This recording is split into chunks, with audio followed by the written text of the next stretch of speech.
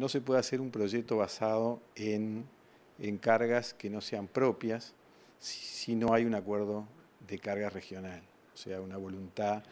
de la, de la región, una decisión a través del Mercosur, de la UNASUR, este, de que la carga pueda pasar por un puerto. O sea, yo creo que hay eh, el puerto de aguas profundas en la costa de Rocha es una necesidad, este, es futuro, pero creo que hay, eh, eso yo lo veo para el 2030, este, veo para el 2000, antes del 2020 un puerto en la costa de Rocha, un, puerto minero, que no es un puerto de aguas profundas, y, este, creo que el futuro gobierno tiene que tener un plan este, para el puerto de Montevideo, para el próximo quinquenio, que, en el cual se mejore la infraestructura y podamos competir en el Río de la Plata. Digo que el contraataque que Uruguay tiene que hacer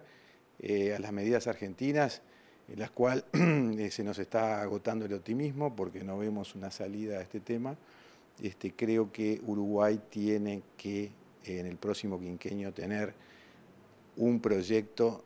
del puerto de Montevideo con un canal de acceso proyectado a menos 14 metros y los muelles actuales también este, tendiendo a esa cota de menos 14 metros.